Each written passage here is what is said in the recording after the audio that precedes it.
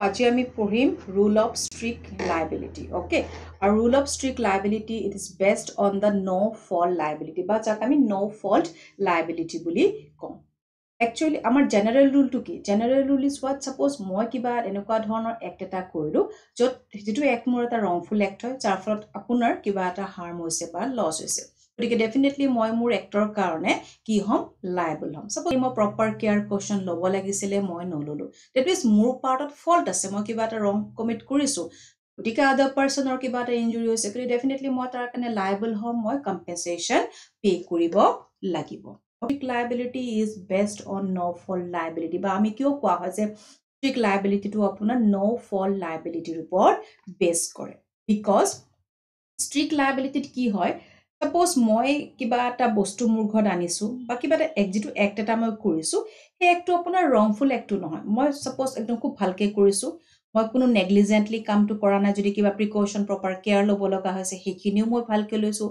Still যদি আপোনাৰ কিবা এটা হাৰ্ম হয় লছ হয় মই তাৰ কাৰণে কি হ'ম? লাইবল হ'ম। যদিও মোৰ পাৰ্টত কোনো ধৰণৰ ফল্ট নাই মই ভুল কৰা নাই একো ৰং কমিট কৰা নাই। মই যেনেকৈ কামটো কৰিব লাগে ভালকৈ ফুল ৰেচপনচিবিলিটি কামটো কৰিছোঁ প্ৰপাৰ কেয়াৰ কুৱেশ্যন বা কিবা প্ৰিকশ্যনাৰী মেজাৰ ল'ব লাগে মই খুব ভালকৈ প্ৰপাৰলি লৈছোঁ।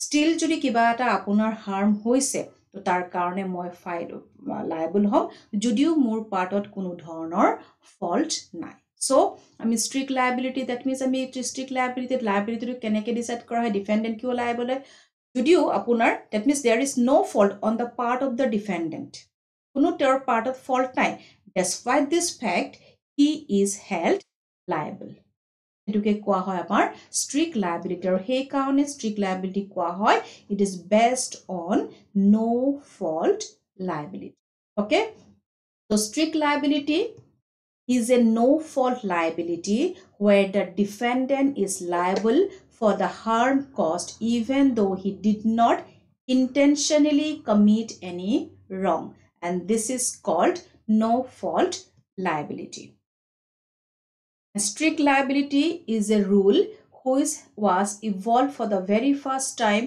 by justice blackburn কোনটো কেছত কৰিছিলে যিটো ফেমাছ কেছ আমাৰ strict liability leading case Rylands versus Fletcher আৰু সেইটো হৈছিলে আপোনাৰ এইটিন ছিক্সটি এইটত অ'কে Rylands versus ফ্লেচাৰৰ কেছটো আমি ডিছকাছ কৰিব লাগিব ফেক্টটো আমি ডিছকাছ কৰোঁ অ'কে চ' ৰিলেন ফাৰ্চেছ ফ্লেচাৰৰ কেছটোত আপোনাৰ কি হৈছিলে? Fletcher had a mill on his land okay তেওঁৰ নিজৰ লেণ্ডত তেওঁৰ এটা মিল আছিলে। And to power the mill Fletcher build a reservoir on his land তেওঁৰ মিলটোত পাৱাৰ লাগে তাৰ কাৰণে তেওঁ কি কৰিলে? তেওঁৰ নিজৰ লেণ্ডত নিজৰ লেণ্ডত own his own land okay তেওঁ ৰিজাৰ্ভৰ এটা বনালে। For this purpose he employed a competent independent contract গতিকে তেওঁ ৰিজাৰ্ভৰটো বনাবৰ কাৰণে কি কৰিলে? এজন ইণ্ডিপেণ্ডেণ্ট কণ্ট্ৰেক্টৰ তেওঁ এজন তাত এপইণ্ট কৰিলে। ইণ্ডিপেণ্ডেণ্ট কণ্ট্ৰেক্টৰ এজন তেওঁ এপইণ্ট কৰিছিলে সেই ৰিজাৰ্ভৰটো তেওঁ বনাবৰ কাৰণে। যেতিয়া ইণ্ডিপেণ্ডেণ্ট কণ্ট্ৰেক্টৰজনে এপইণ্ট কৰিলে ধৰক তেওঁলোক আহিলে কাম কৰিলে তেতিয়া তেওঁলোকে ধৰক এক্সকেভেশ্যন যিটো কৰিছে অ'কে ইণ্ডিপেণ্ডেণ্ট কণ্ট্ৰেক্টৰৰ যিবিলাক ৱৰ্কমেন আছিল while the workmen of the independent contractor excavating the soil discovered some ডিজ ইউড শ্বেফছ কিছুমান তাত পাইছিলে। এতিয়া মাটিটো খান্দি আছিল ৰিজাৰ্ভৰ বনাবৰ কাৰণে। And passes communicating with the mining adjoining land আৰু তাত এটা আপোনাৰ যিটো পেচেজ আছিলে আপোনাৰ এডজইনিং যিটো লেণ্ড ইট মিনছ আপোনাৰ প্লেইণ্টিফৰ এডজইনিং এটা আপোনাৰ লেণ্ড আছিলে আপোনাৰ। অ'কে আৰু তাত যেতিয়া তেওঁলোকে এক্সকেভেশ্যনটো কৰি এটা দেখি দেখি তাত তেওঁলোকে কি পাইছিলে? ডিজ ইউজ কিছুমান টেপছ কিছুমান তাত পাইছিলে। অ'কে যাৰ ফটো বনালে ফেচাৰে ইণ্ডিপেণ্ডেণ্ট কণ্ট্ৰেক্টক এংগেজ কৰিলে ইণ্ডিপেণ্ডেণ্ট কণ্ট্ৰেক্টৰ যেতিয়া ৱৰ্কমেনবিলাক এক্সকেভেটিং কৰি আছিলে তাত তেতিয়া তেওঁলোকে ডিছকভাৰ কৰিছিলে কিছুমান ডিজ ইউজ চেফছ অ'কে আৰু তেতিয়া আপোনাৰ যেতিয়া ৱাটাৰ ইন দ্য ৰিজাৰ্ভৰ এদিন ৰিজাৰ্ভৰটো হৈ গ'ল তাৰপিছত এদিন কি হ'ল যিটো ৱাটাৰ ৰিজাৰ্ভৰত যিখিনি আপোনাৰ ৱাটাৰ আছিলে সেইখিনি water in the reservoir broke through' the shafts সেই যে চেপছবোৰ আছিলে অ'পেন ডিজ ইউজ সেইবোৰ তেওঁলোকে তেনেকৈয়ে ৰাখি থ'লে। একো নকৰিলে তেওঁলোকে কণ্ট্ৰেক্টৰৰ ৱৰ্কমেন কেইজনে তেতিয়া এদিন ৱাটাৰৰ যিখিনি ৰিজাৰ্ভৰ ৰিজাৰ্ভৰৰ যিখিনি ৱাটাৰ আছিলে সেইখিনি কি হৈ গ'ল আপুনি broke through the shafts and flooded the neighbouring plaintiff's coal mine আৰু প্লেইণ্টিভৰ লেণ্ডত এটা কি আছিলে আপোনাৰ কইল মাইণ্ড আছে ফৰ লেণ্ডটো আৰু ডিপেণ্ডেণ্টলৈতো এডজইনিং লেণ্ড হয় তেতিয়া সেই চেলছবিলাকেদি পানীটো গৈ পেলাই প্লেণ্টি ফৰ কইল মাইনত গ'ল। আৰু প্লেণ্টি ফৰ কইল মাইনত যেতিয়া গ'ল ডেফিনেটলি কি হ'ব? প্লেণ্টি ফৰ কইল মাইনটো আপোনাৰ ডেমেজ হ'ব নে নাই? ডেমেজ হ'ব। গতিকে তেতিয়া কি কৰিলে? প্লেণ্টিভ আপোনাৰ ৰিলেণ্ডে এটা আপোনাৰ চুট ফাইল কৰিলে এগেইনষ্ট ফ্লেচাৰ যে তেওঁৰ এনেকুৱা নহয় কইল মাইনটোৰ ডেমেজ হৈছিলে। এতিয়া এই কেছটোত কোৰ্টে কৈছিলে যে defendant build the reservoir at his ৰিক্স তেওঁ নিজৰ লেণ্ডত নিজৰ ৰিক্সত তেওঁ ৰিজাৰ্ভৰটো তেওঁ বনাইছিলে। In course of it if any accident happens then the defendant will be liable for the accident and escape of the material যে যদিও তেওঁ নিজৰ লেণ্ডত বনাইছে অ'কে তেওঁ এনেকুৱা নহয় যে প্লেইন টিফৰ লেণ্ডত গৈ বনাইছে কিবা ইণ্টেনশ্যনেলি তেনেকুৱা ধৰণৰ কিবা কৰিছে একো কৰা নাই। তেওঁ নিজৰ লেণ্ডত নিজৰ মিলটোক পাৱাৰ লগা হ'ল ডেটছ ৱাই তেওঁ ৰিজাৰ্ভাৰটো বনালে বনালে আৰু ৰিজাৰ্ভাৰটো বনোৱাৰ কাৰণে তেওঁ কাক এংগেজ কৰিছিল? ইণ্ডিপেণ্ডেণ্ট কণ্ট্ৰেক্টৰক এংগেজ কৰিছিলে। এতিয়া সেই ৰিজাৰ্ভাৰটোৰ কাৰণে কি হ'ল? প্লেইন টিফৰ কইল মানটোত আপোনাৰ ডেমেজ হ'ল পানী সিফালেৰে আপোনাৰ গ'ল সেইবিলাক ডিজিউজ চাৰ্চবিলাকৰ থ্ৰৰে যিটো এডজইনিং লেণ্ড আছিলে যদিও ডিফেণ্ডেণ্টৰ পাৰ্টত ইয়াত কোনো ধৰণৰ ফল্ট নাই বা ডিফেণ্ডেণ্টে ইণ্টেনশ্যনেলিও কৰা নাই। বা ডিফেণ্ডেণ্টে নিজে কৰা নাই কাৰণ তাৰ কাৰণে তেওঁ কি কৰিছিলে? ইণ্ডিপেণ্ডেণ্ট কণ্ট্ৰেক্টৰ তেওঁ এপইণ্ট কৰিছিলে। যে যদিও তেওঁৰ পাৰ্টত কোনো ধৰণৰ ফল্ট নাই বা যিহেতু প্লেইণ্টিফৰ ইয়াত কি হৈছে আপোনাৰ? প্লেইণ্টিফৰ আপোনাৰ লছ এটা হ'ল গতিকে ডিফেণ্ডেণ্ট ইয়াত কি হ'ব? আপোনাৰ লাইবল হ'ব। যেতিয়া ডিফেণ্ডেণ্টে আপোনাৰ এই কেছটো যেতিয়া তেওঁ নিজৰ ধৰক ডিফেন্সটো লৈছে ডিফেণ্ডেণ্টে কৈছে যে মোৰ পাৰ্টতো কোনো মই নেগলিজেণ্টলি কাম কৰা নাই বা মই ইণ্টেনশ্যনেলিও তেনেকুৱা কৰা নাই গতিকে মই লাইবল নহয়। কিন্তু তেতিয়া জাষ্টিছ ব্লেক বাৰ্ণে যিটো ৰুল আপোনাৰ লেট ডাউন কৰিছিল বা কেনেকুৱা অবজাৰ্ভেশ্যন দিছিলে ৰিলেন ফাৰ্চেছ ফ্লেচাৰ কেছটোত তেতিয়া জাষ্টিছ আপোনাৰ ব্লেক বাৰ্ণে কৈছিলে যে যিটো চামাৰাইজ কৰিছিলে ৰুলটো যে the rule the true rule of law is that the person who for is on purpose bring on his land যে পাৰ্চন এজনে যদি নিজৰ কিবা কামৰ কাৰণে নিজৰ লেণ্ডত কিবা তেনেকুৱা বস্তু আনে brings on his land and collects and keeps there anything হয়তো কিবা আনিছে তেওঁৰ লেণ্ডত কিবা কালেক্ট কৰিছে বা তেওঁ ৰাখিছে ডিয়াৰ এনিথিং যিকোনো বস্তু হ'বলৈ লাইকলি টু ডু মিচিভ যে সেই বস্তুটোৱে হয়তো কিবা মিচিভ ক্ৰিয়েট কৰিব পাৰে কেতিয়া কৰিব পাৰিব? ইফ ইট এস্কেপছ যদি নিজৰ লেণ্ডৰ পৰা বস্তুটো কয় আনৰ লেণ্ডত সোমাই বা যা যোন থাকে ওচৰত বা যাতে মোৰ লেণ্ডত মই কিবা এটা আনিছোঁ ৰাখিছোঁ কিন্তু কি হ'ল মই ধুনীয়াকৈ ৰাখিছোঁ with proper care and caution ৰাখিছোঁ ষ্টিল যদি সেইটো এস্কেপ কৰি যায় কৈ কৰি পেলাই যদি আদাৰ পাৰ্চনৰ ডেমেজ যদি কজ কৰে আৰু কিহৰ কাৰণে এই যে এস্কেপ কৰি গ'ল as a consequence of that other person এজনে লছ চাফাৰ কৰিলে। গতিকে তেনেকুৱাকেতো যদিও ডিফেণ্ডেণ্টৰ পাৰ্টত কোনো ধৰণৰ ফল্ট নাথাকে বা নেগলিজেণ্টলিও তেওঁ কৰা নাই বা ইণ্টেনশ্যনেলিও কৰা নাই ষ্টিল ইয়াত কি হ'ব? পাৰ্চনজন লাইবল হ'ব। এই অবজাৰ্ভেশ্যনটো ৰিলেণ্ট ফাৰ্চেছ ফ্লেচাৰ কেছটো জাষ্টিছ ব্লেক বাৰ্ণে দিছিলে। আৰু কিছুমান প্ৰিন্সিপল ইয়াত আপোনাৰ লেড ডাউন কৰিছে। প্ৰিন্সিপলছবোৰ হ'ল এইবোৰ। ত' principles laid down in Rylands and Fletcher case first if a person brings on his land and keep some dangerous things and such thing is likely to cause damage if it escape then such person will be liable liable or answerable for the damage যদি কিবা তেওঁ লেণ্ডত আনে কিন্তু কেনেকুৱা বস্তু আনিব কিবা এটা ডেঞ্জাৰাছ থিং যে সেইটো বস্তু যদি কিবা কাৰণত যদি এস্কেপ হৈ যায় ডেফিনেটলি আদাৰ পাৰ্চনৰ কিবা লছ হ'ব পাৰে ইট মিনছ লাইকলি ৱৰ্ডটো কিয় লিখে যে এনেকুৱা বস্তু এটা মই আনিছোঁ বাট মই ন' তাত বহুত কেয়াৰ কৰি ভালকৈ মই ৰাখিছোঁ যিখিনি প্ৰিকশ্যন ল'ব লাগে। কিন্তু বস্তুটো এনেকুৱা এটা বস্তু যিটো বস্তু যদি মোৰ মাটিৰ পৰা যায় তেতিয়াহ'লে ডেফিনেটলি আদাৰ পাৰ্চনৰ আপোনাৰ কিবা এটা ডেমেজ হ'ব পাৰে। যদিও মোৰ পাৰ্টত কোনো ফল নাথাকে ষ্টিল ইয়াত লাইবল হ'ম। যদি এস্কেপ হৈ পেলাই আদাৰ পাৰ্চনৰ যদি কিবা লছ বা ডেমেজ তাত হয়। Secondly the person from whose property such substance escaped okay will be held accounted যিজন মই আনিছোঁ মোৰ লেণ্ডত মোৰ লেণ্ডৰ পৰা যদি সেই বস্তুটো এস্কেপ কৰি গ'ল যদিও মই বহুত কেয়াৰ কৰি ভালকৈ মই উইথ প্ৰিকশ্যন প্ৰপাৰ প্ৰিকশ্যন লৈ পেলাই ৰাখিছোঁ ষ্টিল যদি আপোনাৰ এস্কেপ হৈ যায় তেতিয়াহ'লে মই একাউণ্টেবল হ'ম even when he has not been negligent in keeping the substance in his premises এনেকুৱা নহয় যে মই নেগলিজেণ্টলি ৰাখিছোঁ মই ভালকৈ ৰাখি যিখিনি প্ৰিকশ্যন ল'ব লাগে লৈছোঁ। যদিও মোৰ পাৰ্টত কোনো ফল্ট নাই মই লাইবল হ'ম। Then liability is imposed on him not because there is any negligence on his part লাইবিলিটিটো এইকাৰণে ইম্প'জ কৰা নহয় যে তেওঁৰ পাৰ্টত কিবা নেগলিজেঞ্চ আছে। লাইবিলিটিটো কি? ইয়াত নেগলিজেঞ্চৰ কথা বা ফল্টৰ কথা আমাৰ নাহে যেতিয়া ডিফেণ্ডেণ্টৰ লাইবিলিটিটো ডিচাইড কৰে। But the substance kept on his premises is যিটো ছাবষ্টেঞ্চ মই মোৰ লেণ্ডত আনিছোঁ বা ৰাখিছোঁ সেইটো কি হয়? হেজাৰডাছ হয় বা ডেঞ্জাৰাছ হয়।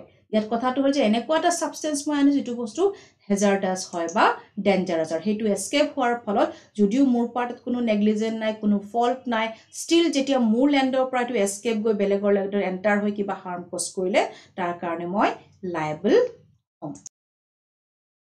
আপোনাৰ লেট ডাউন কৰা হৈছিলে ৰিলেন ফাৰ্চেছ ফ্লেচাৰ কেছটোত গতিকে ৰুলখিনি যিখিনি লেট ডাউন কৰিছিলে তাৰ পৰা আমি কি গম পাওঁ? তাৰ পৰা আমি ষ্ট্ৰিক্ট লাইবিলিটিৰ এচেঞ্চিয়েলছবিলাক আমি ড্ৰ কৰিব পাৰোঁ। So' what are the essentials of a strict liability strict লাইবিলিটিৰ first এচেঞ্চিয়েলটো হৈছে আপোনাৰ ডেঞ্জাৰাছ ছাবষ্টেঞ্চ অ'কে তো আগতে আমি যেতিয়া প্ৰিন্সিপলছবোৰ পঢ়িলোঁ যি যি প্ৰিন্সিপল লেট ডাউন কৰা তাত কি কোৱা হৈছে যে যিটো বস্তু মই মোৰ লেণ্ডত আনিছোঁ ৰাখিছোঁ সেই বস্তুটো কেনেকুৱা ডেজাৰ ডেঞ্জাৰাছ বা হেজাৰ্ডাছ ছাবষ্টেঞ্চ হ'ব লাগিব যে যিটো বস্তু যদি কিবা কাৰণত ওলাই যায় মোৰ লেণ্ডৰ পৰা এস্কেপ হৈ যায় লাইকলি ৱৰ্ডটো তাত আমি ইউজ কৰোঁ ডেট মিনছ প্ৰবেবিলিটি আছে যে আদাৰ পাৰ্চনৰ কিবা এটা ডেমেজ বা আদাৰ পাৰ্চনজনে লছ চাফাৰ কৰিব পাৰে। So' first essential is dangerous substance so' defendant should have brought some dangerous things on his land or premises the things like কেনেকুৱা কেনেকুৱা বস্তুবোৰ ডেঞ্জাৰ কিবা এক্সপ্ল'জিভ ছাবষ্টেঞ্চ হ'ব পাৰে okay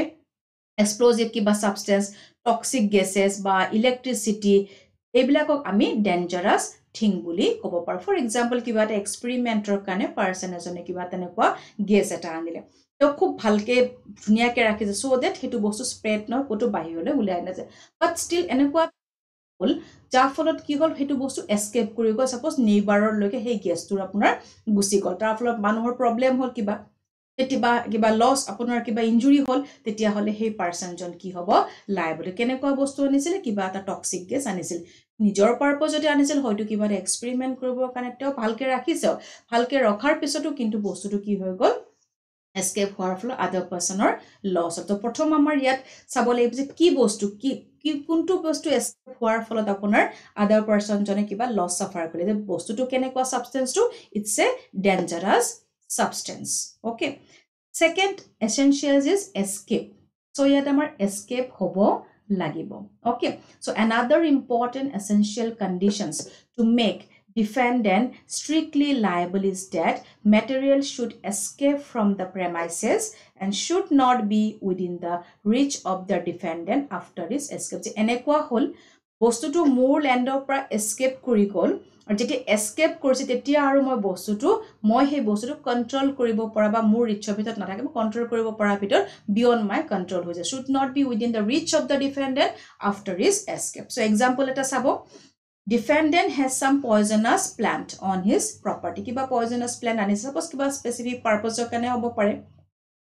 leaves from the plant enter the property of the plaintiff suppose আপোনাৰ গেছ গছডালৰ পৰা থাল এডাল আপোনাৰ ব্ৰাঞ্চ এডাল আপোনাৰ ওচৰত নেইবাৰ প্লেণ্টিভৰ ঘৰত আপোনাৰ গ'ল leaves from the plant enter the property of the plaintiff and is eaten by his cattle তেওঁৰ কোনোবা কেটেল সেই বস্তুটো খাই প্লেনটো খাই দিলে খাই দিয়াৰ ফলত কি হ'ল যিহেতু ট্ৰিটো কেনেকুৱা আছিলে পয়জনাছ ট্ৰি অ'কে এস্কেপ হ'ল তেওঁৰ ঘৰৰ পৰা গৈ এটা ব্ৰাঞ্চ গৈ নেইবাৰৰ ঘৰত গ'ল তেওঁৰ কিবা ছাপ'জ গৰু ছাগলী কিবা আছে খাই দিলে। খাই দিয়াৰ ফলত যিহেতু আপোনাৰ পয়জনাছ ট্ৰি গতিকে সেই এনিমেলটোৰ আপোনাৰ ডেথ হৈ থাকিলে। গতিকে যদিও ডিফেণ্ডেণ্টে ইয়াত না নিজে কৰিছে কিবা তেওঁ নিজে একো কৰা নাই ইণ্টেনশ্যনেলিও কৰা নাই ডিফেণ্ডেণ্টৰ পাৰ্টত কোনো ধৰণৰ লাইবিলিটি নাই কিন্তু বাট ষ্টিল ইয়াত কি হ'ব ডিফেণ্ডেণ্ট আপোনাৰ লাইবল হ'ব। প্ৰথমটো আমাৰ পালোঁ কেনেকুৱা বস্তু? ডেঞ্জাৰাছ হ'ব ডেঞ্জাৰাছ বস্তুটো এস্কেপ কৰিব লাগিব। যেতিয়া এস্কেপ কৰে যদি এস্কেপ কৰি আদাৰ পাৰ্চনৰ যদি কিবা ডেমেজ কজ কৰে তেতিয়াহ'লে ডিফেণ্ডেণ্ট লাইবল হ'ব। চ' ইয়াত আমি এটা কেছ চাম।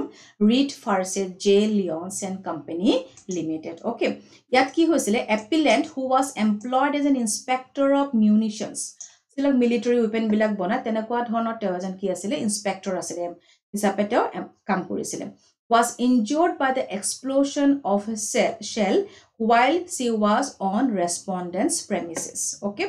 যেতিয়া তেওঁ ৰেচপণ্ডেণ্টৰ প্ৰেমিচেছত আছিলে তেতিয়া কিবা এটা এক্সপ্ল'জন হ'ল হোৱাৰ ফলত কি হৈ গ'ল তেওঁ ইঞ্জুৰি হ'ল in the performance of her duty যেতিয়া তেওঁ নিজৰ কামটো কৰি আছিলে so' there is no' evidence of the negligence on the part of the respondents এনেকুৱাও নহয় যে ৰেচপণ্ডেণ্টে কিবা নেগলিজেণ্টলি কাম কৰিছিল তেওঁৰ পাৰ্টত কোনো ধৰণৰ নেগলিজেণ্টৰ কোনো এভিডেঞ্চ পোৱা নগ'ল যে য়েছ প্ৰপাৰলি মানে যিখিনি যেনেকৈ কৰিব লাগে তেনেকৈ কৰিছে কোনো নেগলিজেণ্টলি কৰা নাই।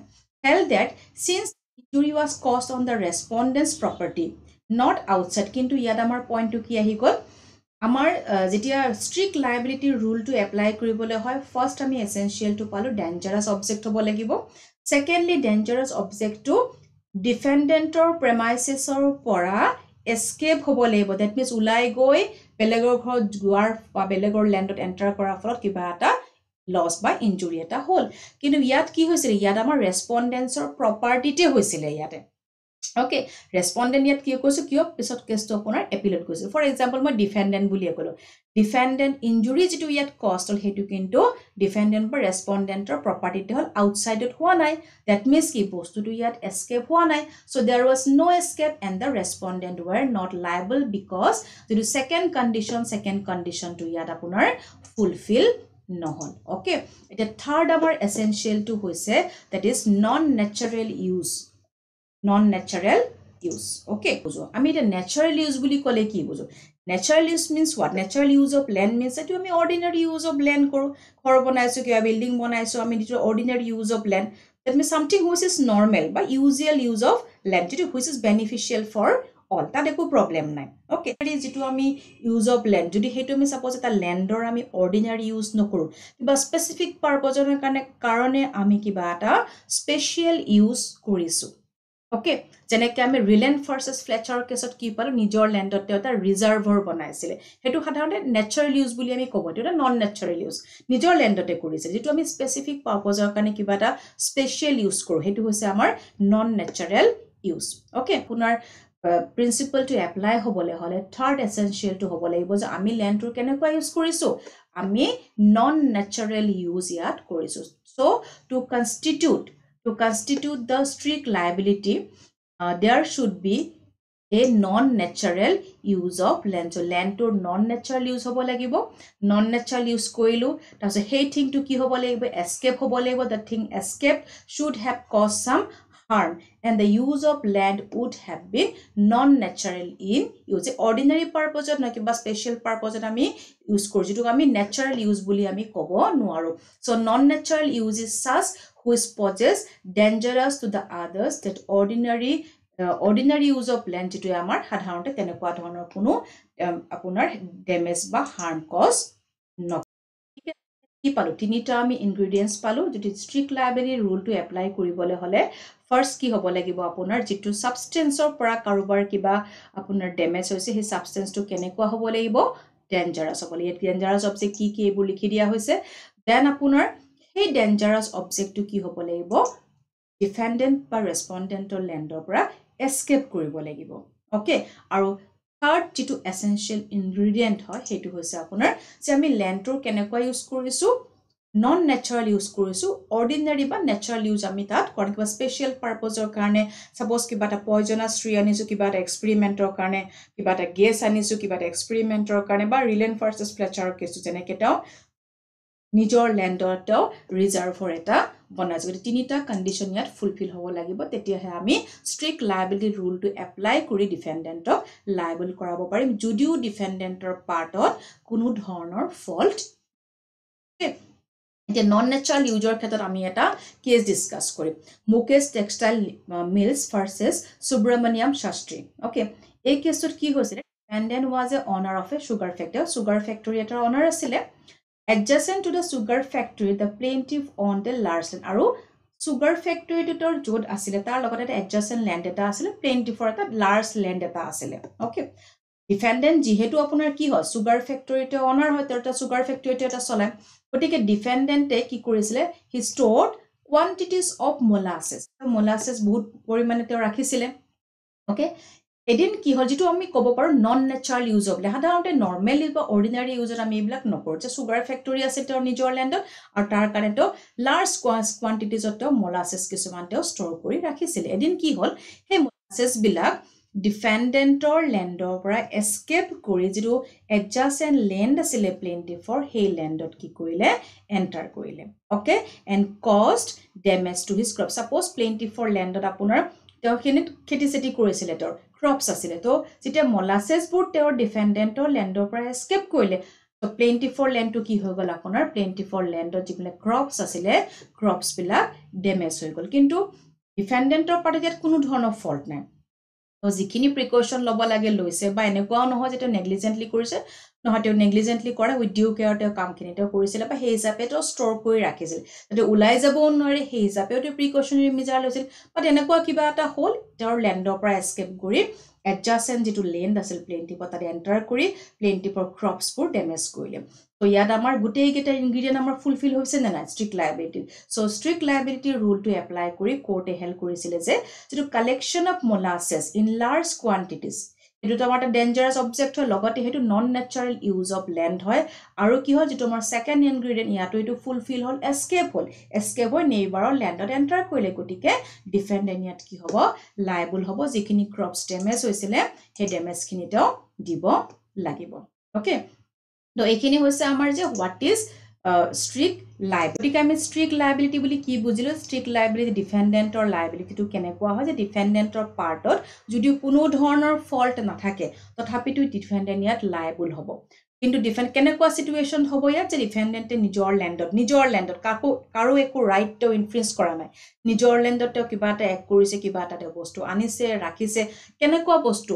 কিবা আপোনাৰ ডেঞ্জাৰাছ যিটো আপোনাৰ সাধাৰণতে নৰ্মেলি মানে অৰ্ডিনাৰী ইউজত আপোনাৰ নকৰে ডেঞ্জাৰাছ কিবা এটা ছাবষ্টেঞ্চ আনিছে আনি পেলাই তেওঁ খুব ভালকৈ ৰাখিছে বস্তুটো বাট ষ্টিল কি হ'ল সেই বস্তুটো যদি কিবা কাৰণত যদি এস্কেপ কৰি পেলাই আদাৰ পাৰ্চনৰ যদি হাৰ্ম হয় কিবা লছ হয় তেতিয়াহ'লে তাৰ কাৰণে তেওঁ লাইবল হ'ব। গতিকে ডেঞ্জাৰাছ ছাবষ্টেঞ্চ দেন এস্কেপ হ'ব লাগিব তেওঁৰ লেণ্ডৰ পৰা আৰু লগতে কি হ'ব লাগিব?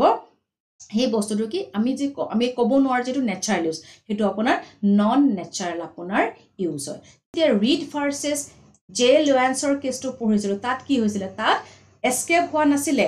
ৰেচপণ্ডেণ্টৰ প্ৰেমিচেছতো এক্সপ্ল'জনটো এনেকুৱা নহয় যে তেওঁৰ ঘৰৰ পৰা বস্তুটো ওলাই গৈ কিবা এক্সপ্ল'জন হ'ল ধোৱা ওলাই গৈ সেই গেছটোৱে মানুহৰ ৰেচপিৰেটৰী প্ৰব্লেম কৰে তেনেকুৱা নহয়। তেওঁৰ প্ৰেমিচেছতে হৈছিলে।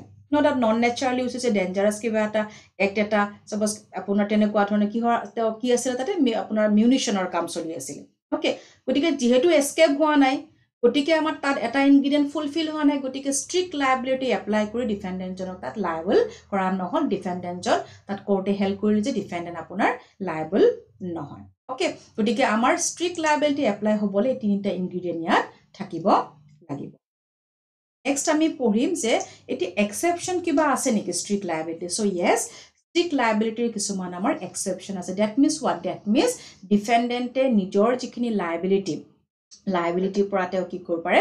এক্সেমশ্যন পাব পাৰে। ফাৰ্ষ্ট এক্সেপশ্যনটো হৈছে আপোনাৰ প্লেইণ্টিফৰ ফল্ট ডেট মিনছ প্লেইণ্টিফৰ নিজৰ পাৰ্টতে যদি কিবা ফল্ট থাকে তেতিয়াহ'লে ডিফেণ্ডেণ্টক লাইবল কৰা নহয়। So' if the plaintiff is at fault any damage is caused the defendant would, would not be held liable as the plaintiff himself came in contact with the dangerous thing.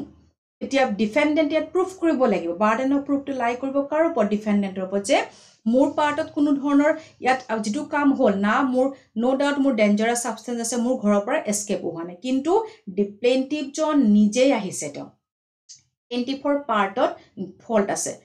প্লেইণ্টিভৰ নিজৰ ভুলৰ কাৰণে কিবা এটা suppose incident এটা হ'ল বা তেওঁৰ কিবা এটা লছ হ'ল। So' as the plaintiff himself came in contact with the dangerous in that case defendant would not be held liable this is the first exception to the rule of strict liability okay so' ইয়াত আমি case চাম Ponting versus আপোনাৰ নিক্সনৰ কেছটো plaintiff horse plaintiff's horse has eaten certain poisonous leave which cost his death so' ইয়াত কেছটো হ'ল যে প্লেইণ্টিভৰ হৰ্চটোৱে কিছুমান পয়জনাছ লিভছ খাইছিলে as a consequence of death হৰ্চটোৰ death হৈ গ'ল। Okay it was held that plaintiff was not entire to the damage কোৰ্টে ক'লে যে প্লেইণ্টিভে ডেমেজ নাপায়। কিয় নাপায়? বিকজ ইয়াত এনেকুৱা নহয় যে ছাপ'জ এইটো আপোনাৰ ডিফেণ্ডেণ্টৰ ঘৰ। অ'কে তেওঁৰ গছডাল আপোনাৰ ইয়াত আছে। অ'কে আৰু এইটো আপোনাৰ প্লেইণ্টিভৰ ঘৰ। এনেকুৱা নহয় যে ডিফেণ্ডেণ্টৰ এই পয়জনাছ ট্ৰীৰ এটা আপোনাৰ ব্ৰাঞ্চ এইফালে গৈছে যোৱা নাই। তেওঁতো ধুনীয়াকৈ কাটি মেলি নিজৰ লেণ্ডতে ৰাখিছে। কিন্তু প্লেইণ্টিফৰ যিটো হৰ্চটো এদিন ডিফেণ্ডেণ্টৰ কি কৰিলে লেণ্ডত ট্ৰেছপাছ কৰিলে। নিজে আহি পাই তেওঁ ধুনীয়াকৈ গছডাল কাটি মেলি ৰাখে চ' ডেট আপোনাৰ কাৰো তাত আপোনাৰ যাব নোৱাৰে যিহেতু পয়জনাছ ট্ৰী হয়। কিন্তু প্লেইণ্টিফৰ হৰ্চটো নিজে এদিন ট্ৰেছপাছ কৰি পেলাই আহি এই গছৰ পাতটো খোৱাৰ ফলত হৰ্চটোৰ ডেথ হৈ গ'ল। ডেট এস্কেপ আপোনাৰ হোৱা নাই। ডেট মিনছ প্লেইণ্টিফৰ পাৰ্টতে ফল তেওঁৰ ঘৰ ঘৰৰ পৰাতো আপোনাৰ সেইটো এস্কেপ কৰা নাই। গতিকে ইয়াত আপোনাৰ পইণ্টিং ফাৰ্চেছ নিকশ্যন কেছটোত ডিফেণ্ডেণ্টে নিজৰ লাইবিলিটিৰ পৰা এক্সেমশ্যন পাইছিলে আৰু কোৰ্টে তেওঁক কৈছিলে যে তেওঁৰ কোনো ধৰণে লাইবল নহয়। কিয়নো ষ্ট্ৰিক্ট লাইবিলিটি যিখিনি আমাৰ ইনগ্ৰিডিয়েণ্ট ইয়াত গোটেইখিনি ফুলফিল হোৱা নাই। Okay next is act of গডৰ vis major okay act of God আমি যেতিয়া জেনেৰেল ডিফেন্স পঢ়িছোঁ তাতো পাইছোঁ। আৰু এক্ট অফ গডত আপোনাৰ যিটো আমাৰ লিডিং কেছ সেইটো হৈছিলে আমাৰ নিকলছ ফাৰ্চেছ মাৰ্চলেণ্ড কেছ এইটো আমি অলৰেডি ডিছকাছ কৰিছোঁ বাট ষ্টিল ইয়াত ডিছকাছ কৰিম। এতিয়া তাত আমি পঢ়িছিলোঁ ন নিকলছ ফাৰ্চেছ মাৰ্চলেণ্ড কেছ যে আৰ্টিফিচিয়েল লেক এটা ক্ৰিয়েট কৰিছিলে। ডিফেণ্ডেণ্টৰ লেণ্ডত আপোনাৰ ডিফেণ্ডেণ্টে কৰিছিলে এতিয়া ডিফেণ্ডেণ্ট হ'ব। ডিফেণ্ডেণ্টৰ লেণ্ডত আপোনাৰ এটা ডিফেণ্ডেণ্টে আৰ্টিফিচিয়েল এটা লেক ক্ৰিয়েট কৰিছিলে। কিহৰ কাৰণে? যে আপোনাৰ due to the storage of rain water coming from a natural stream natural stream এটাৰ পৰা এইটো ষ্ট'ৰ কৰি ৰখাৰ কাৰণে। এদিন কি হ'ল? বৰষুণ এক্সট্ৰা অৰ্ডিনাৰী হেভি ৰেইন আপোনাৰ হ'ল। Okay whose could never have been reasonably anticipate যে এনেকুৱা যে হ'ব ধৰক এণ্টিচিপেট কৰিব পৰা কথা নহয় যে এনেকুৱা হ'ব আমি আগতেই গম পাম তেনেকুৱা নহয়। As a result as result of which embankments of the lake তেওঁ যেতিয়া লেকটো বনাইছিল ন তাত ধুনীয়াকৈ এম্বেকমেণ্টছবোৰো দিছিলে। চ' দেট আপোনাৰ ৱাটাৰবোৰ হেৰি হ'ব। ডেট মিনছ তেওঁ প্ৰপাৰ কশ্যন বা যিখিনি কাম কৰিব লাগে গোটেইখিনি প্ৰিকশ্যনেৰী মেজাৰ তেওঁ লৈছিলে। কিন্তু এনেকুৱা ধৰণৰ এটা হেভি ৰেইনফল হ'ল তাৰ ফলত কি হৈ গ'ল আপোনাৰ? গোটেই এম্বেকমেণ্টছবিলাক কি হৈ গ'ল? ভাঙি গ'ল। এতিয়া আৰ্টিফিচিয়েল লেণ্ড আপোনাৰ লেকটোৰ যিখিনি ৱাটাৰ আছিল সেইখিনি began to overflow' on the plaintiff's land okay and the flow' of water carried way for bridges of the plaintiff it was held that the defendant was not liable because ইয়াত আমাৰ এনেই escape হোৱা নাই। এস্কেপটো কিহৰ কাৰণে হৈছে যে এনেকুৱা ধৰণৰ এটা চিটুৱেশ্যন এটা হ'ল। হেভি ৰেইনফল হ'ল তাৰ কাৰণে যিটো আমাৰ এক্ট অফ গড বুলি কয় গতিকে এক্ট অফ গডৰ আণ্ডাৰ ডিফেন্সেছটো লৈ কোৱা হ'ল যে যিটো বস্তু ডিফেণ্ডেণ্টো এণ্টিচিপেট কৰিব নোৱাৰে কোনেও নোৱাৰে যে এনেকুৱা ধৰণৰ খুব হেভি ৰেইনফল আহিব এনেকুৱা হ'ব। যে এম্বেংকমেণ্টছবোৰ ভাঙি দিব তাৰপিছত ৱাটাৰবোৰ ফ্ল' কৰি যাব। গতিকে ইয়াত আমাৰ এই ডিফেন্সটো ডিফেণ্ডেণ্টে ইয়াত পাই গ'ল। অ'কে ত' এইটো এটা হ'ল আমাৰ ছেকেণ্ড এক্সেপশ্যন যিটো আমি এক্ট অফ গড বা ভিজ মেজৰ বুলি ক'ব পাৰোঁ।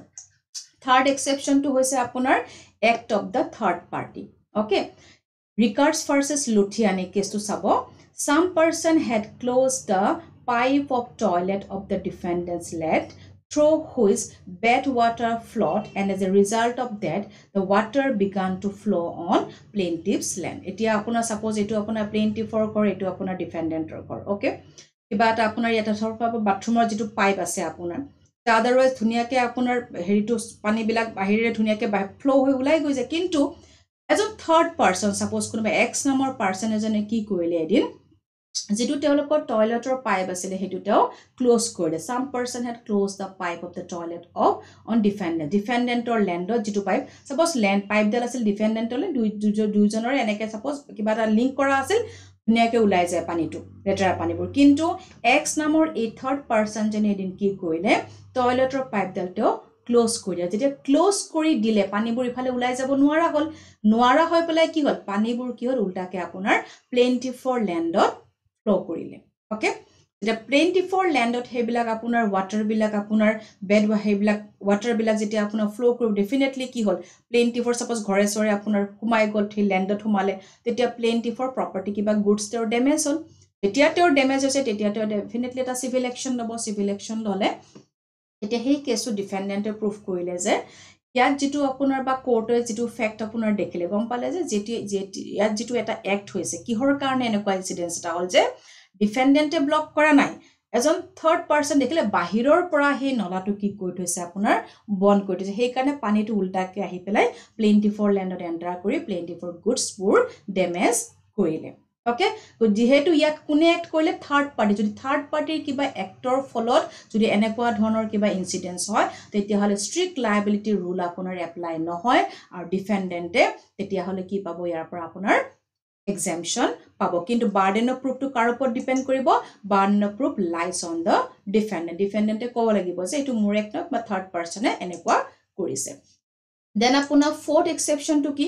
Fourth consent of the plaintiff okay যদি আপোনাৰ যিটো আমি ৱালেণ্টি নন যদি প্লেইণ্টিফে কিবা এটা আপোনাৰ কনচেণ্ট দিছে the plaintiff has consented for accumulation of dangerous things on the land of the defendant তেওঁ কৈছে তেওঁ কনচেণ্ট দিছে।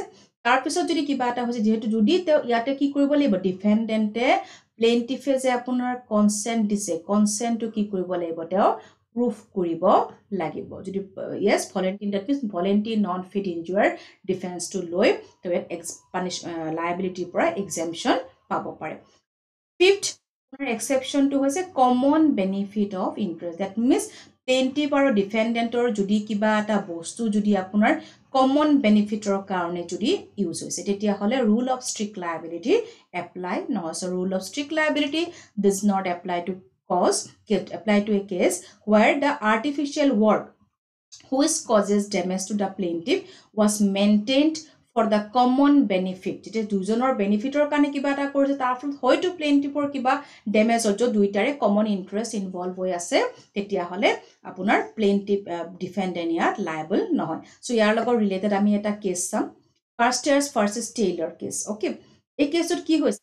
If and the defendant were living in the same building তেওঁলোকে ছেম বিল্ডিঙতে আছিলে। Plaintiff was living on the ground floor plaintiff আছিলে ground ফ্ল'ৰত আৰু ডিফেণ্ডেণ্ট আছিলে আপোনাৰ ফাৰ্ষ্ট ফ্ল'ৰত সেই হাউচটোৰ অ'কে ডেট মিনছ সেই বিল্ডিংটো তেওঁলোকে কমন পাৰ্পজত তেওঁলোকৰ ইউজ এটা বিল্ডিঙতে থাকে প্লেইণ্টিভ থাকে আপোনাৰ আপোনাৰ গ্ৰাউণ্ড ফ্ল'ৰত আৰু ডিফেণ্ডেণ্ট থাকে ফাৰ্ষ্ট ফ্ল'ৰত water from the roof drain from the pipe into a tank and from there it use to flow' out through the drain যিটো আপোনাৰ ৱাটাৰ পাইপ আছিলে চাব ধুনীয়াকৈ যিটো বাহিৰেদি ওলাই যায় যিটো সেইটো তেওঁলোকৰ প্ৰপাৰলি বনোৱা আছিল আৰু দুইটাৰ তেনেকৈ সেই বস্তুটো কমনলি তেওঁলোকে ইউজ কৰে okay some rats had made holes in the tank এদিন কি কৰিলে কিছুমান তেনেকুৱা এদিন কিছুমান ৰেটছে কি কৰিলে তাত আপোনাৰ হোল বনাই দিলে অ'কে যেতিয়া হোল বনাই দিলে তেতিয়া কি হ'ল টেংকটোত ৱাটাৰ ডেফিনেটলি লিক হ'ব so' water leaked from it causing damages to the plaintiff's property to water leak হ'ল হৈ পেলাই সেই পানীখিনি ডিফেণ্ডেণ্টৰ প্ৰপাৰ্টি যেনে ডিফেণ্ডেণ্টৰ ঘৰত সোমাল তেনেকুৱা কি হ'ল? ডিফেণ্ডেণ্টৰ প্ৰপাৰ্টি ডেমেজ হ'ল। তেতিয়া চৰি প্লেইণ্টিফৰ প্ৰপাৰ্টিত সোমালে প্লেইণ্টিফৰ প্ৰপাৰ্টি ডেমেজ হ'ল। তেতিয়া প্লেইণ্টিফে ডিফেণ্ডেণ্টৰ ওপৰত এটা চিভিল একশ্যন এটা ল'লে কম্পেনচেশ্যন ক্লেইম কৰি পেলাই ক্লেইম কৰিলে। চ' তেতিয়া কোৰ্টে ইয়াত হেল্প কৰিলে যে এই কেছটোত আমি ডিফেণ্ডেণ্টক লাইবল কৰিব নোৱাৰোঁ। কাৰণ কেছৰ যিটো ফেক্টৰ পৰা গম পোৱা হ'ল যে ইয়াত হোল কোনে কৰিছে সেই ৰেটছবিলাকে কৰিছে এণ্ড্ৰুবিলাকে কৰিছে আপোনাৰ। তাত ডিফেণ্ডেণ্টৰ জানো কিবা কণ্ট্ৰল আছে? ডেফিনেটলি নাই।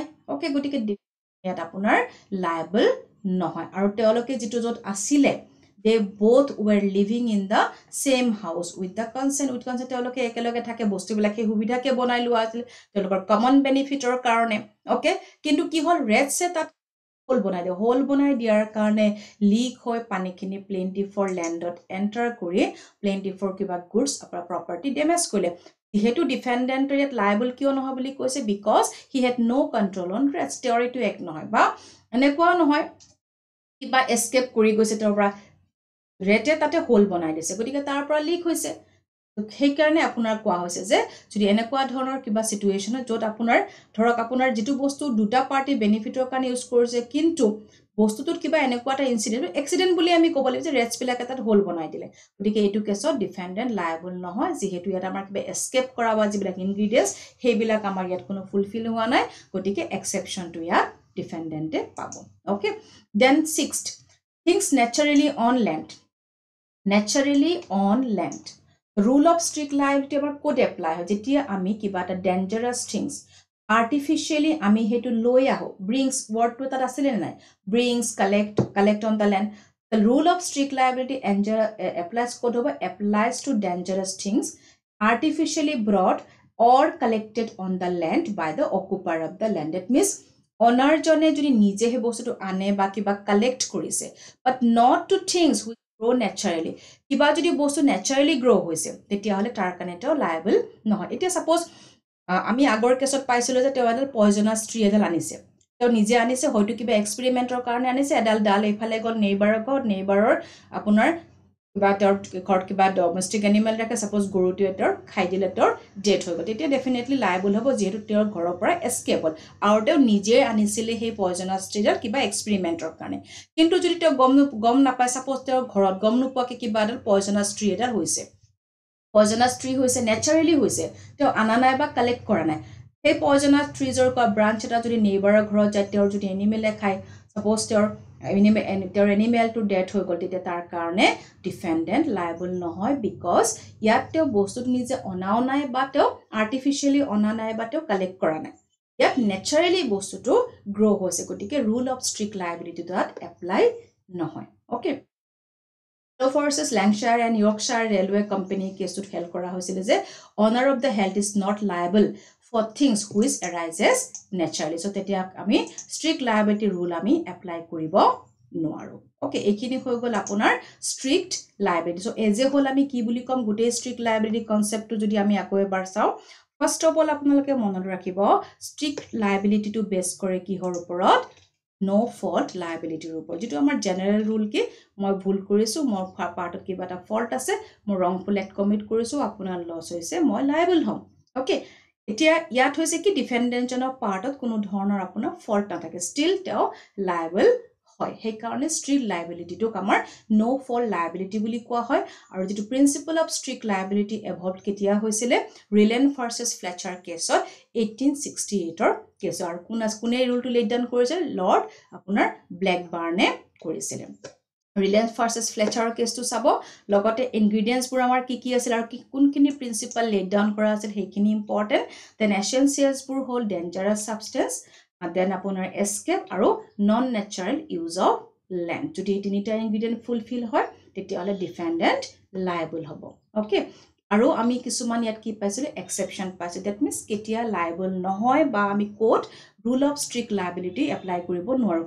ফাৰ্ষ্টটো হৈছিলে প্লেইণ্টিফৰ যদি নিজৰে ফল্ট থাকে second act of God or vis major third act of the third party fourth consent of the plaintiff fifth common benefit of the interest so' this is all about strict liability